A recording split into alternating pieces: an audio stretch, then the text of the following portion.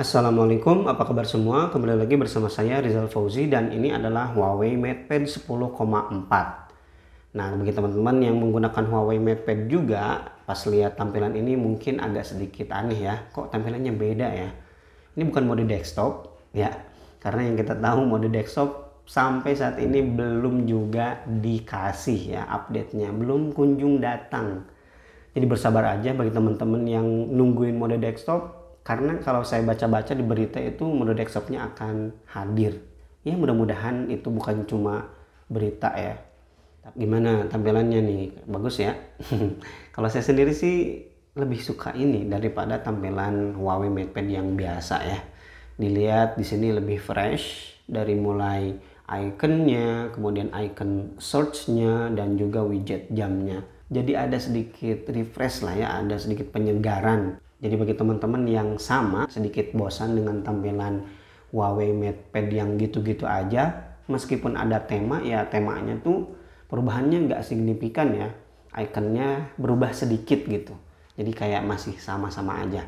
Di sini saya mau bahas salah satu launcher yang cocok untuk Huawei MatePad 10,4. Nama launchernya adalah Smart Launcher. Nah pertanyaannya kenapa saya pakai Smart Launcher? Kenapa gak pakai Nova Launcher? Kan lebih terkenal atau launcher-launcher lain yang lebih terkenal, lebih bagus? Alasannya simple. Karena launcher-launcher yang terkenal itu, launcher-launcher yang bagus itu gak cocok kalau kita install di tablet. Oke, Nova Launcher itu bagus gitu ya. Tapi itu bagus di smartphone. Nah, smartphone kan kayak gini, kita lebih sering pakai dalam mode potret ya. Beda dengan tab. Tab itu kan pengganti PC ya. Kita sering gunain di mode landscape.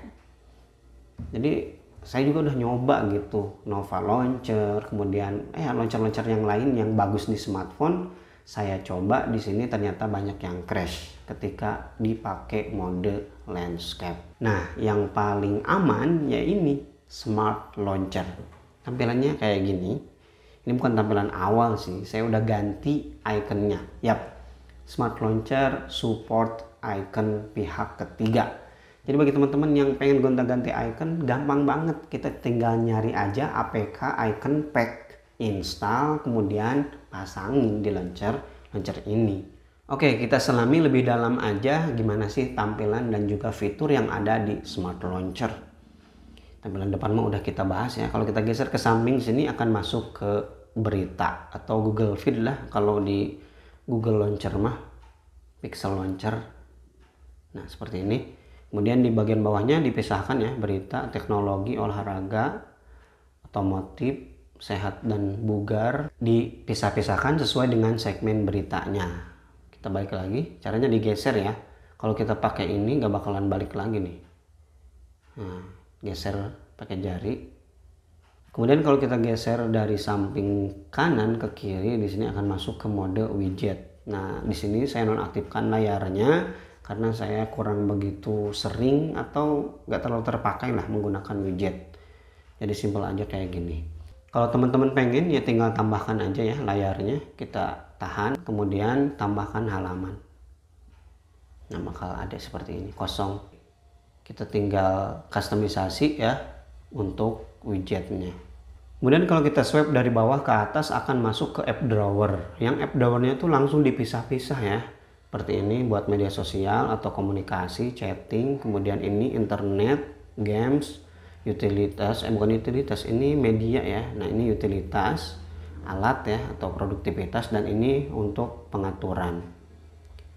Kemudian fiturnya banyak ya, tinggal klik aja di sini kemudian ini yang bisa kita atur. Latar penampilan global kemudian layar awal. Kita tarik aja. Ini bagian-bagian yang bisa kita atur di smart launcher. Di sini ada latar penampilan global gerak isyarat backup bagikan layar utama dan yang lain-lain di sini kita bisa atur semua ya. Nah itu dia ya smart launcher yang menurut saya lumayan smart sesuai dengan namanya karena udah dipisah-pisahkan kemudian kita bisa customisasi semau kita dari mulai icon kemudian halaman search dan yang lain-lain. Silahkan teman-teman selami aja sendiri. Di sini saya mau ngasih rekomendasi aja. Launcher yang cocok buat MatePad 10,4 atau buat tablet yang lain ya. Nah, bagi teman-teman yang pengen install juga Smart Launcher di tabnya, di MatePad-nya, bisa langsung aja ke kolom deskripsi. Klik aja linknya. Karena di App Gallery ini belum ada. Dan seperti biasa, sebelum saya tutup, saya ucapkan terima kasih banyak bagi teman-teman yang udah mau nonton sampai selesai, buang-buang kuotanya demi tips yang ya begini adanya. Dan kalau ternyata tips ini lumayan menyenangkan atau bermanfaat, jangan lupa share tips ini ke teman-teman yang lain ya. Oke, Rizal Fauzi pamit. Wassalamualaikum warahmatullahi wabarakatuh.